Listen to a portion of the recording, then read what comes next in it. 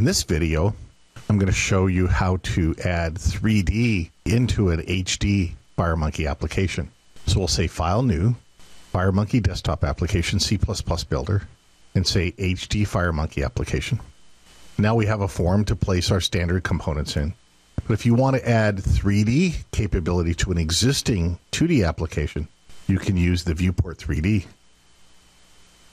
And so the Viewport 3D is a component that gives you a 3D place inside of an HD application to work with 3D shapes, 3D objects. Up at the top of our client area, we'll put a panel. And let's align this panel to the top of the client area. And inside of that, we'll put uh, a checkbox. And we're going to use this to enable our 3D objects like we did in, in previous videos. For the rest of the client area, we'll put our viewport 3D. So we'll align it to the client area. We can place spheres and other kinds of FireMonkey 3D objects. So let's uh, scale this and make it uh, smoother edges like we saw in previous videos. Let's set the depth and height and width. And we'll put that down here. We can put a 3D rectangle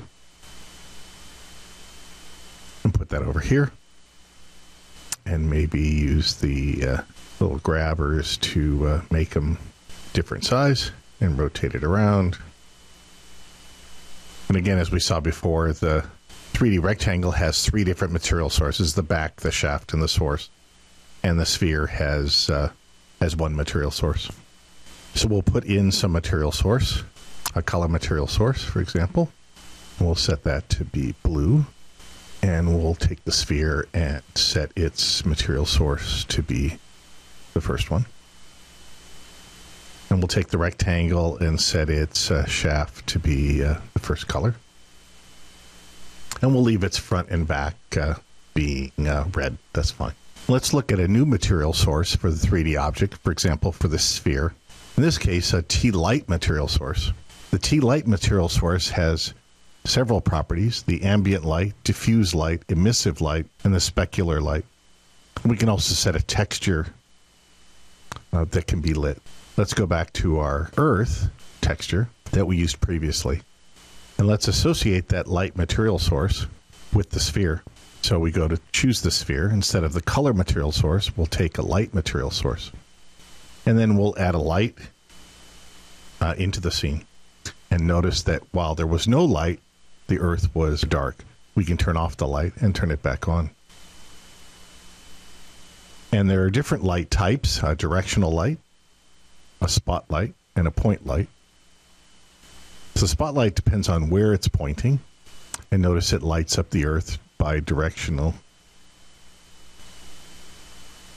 And notice that we're lighting up uh, the planet as we move the light around. So, that might be an example so we can go and enable rotation again of our sphere with the light material source with the light and a texture. Let's put an animation on the sphere like we did before. It'll be a float animation. And we'll associate that with the sphere. And we'll set the rotation to be five seconds. And we'll set loop. And we'll set start from whatever the current value is as we start and stop it and we'll go for 360 degrees and we'll leave it disabled for now and we'll do a linear interpolation. And then on the code for the change event, we'll set that float animation one, we'll set it enabled equal to not a float animation enable. So it can toggle. And then we'll run this example. And if we enable it, up, we forgot to set property that we wanted to animate. So let's go back to float animation and set the property. In this case, we want to set the rotation angle Y so the Earth rotates. And while we're at it, we'll also uh, animate uh, the rectangle and we'll set it uh, to loop in five seconds. And we'll set its property to be the rotation angle Y associated with the rectangle. Let me make this a little smaller. like it's some floating uh, shape uh, around the Earth. Maybe a UFO.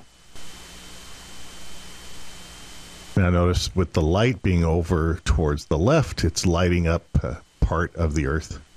Uh, as the Earth rotates underneath, we'll see the light showing up.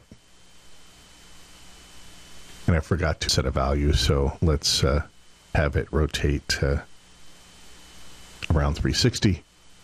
Let's get it to auto reverse while we're at it. So we'll put an animation for for the rectangle and we'll set float animation 2 to be enabled and it'll toggle just like the uh, sphere will toggle we can run this and now we've got the rotating rectangle and notice the light in this case is only associated with the T light material source on this sphere and we've got our 3D rectangle doing uh, auto reverse as it rotates around and hits the end and reverses back.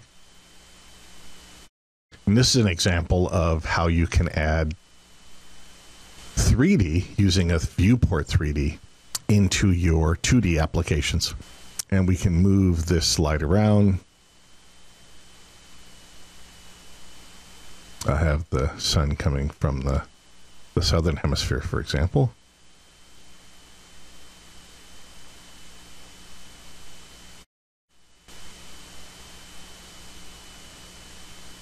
Now we've got lighting coming from the, I guess it's summer in the southern hemisphere now.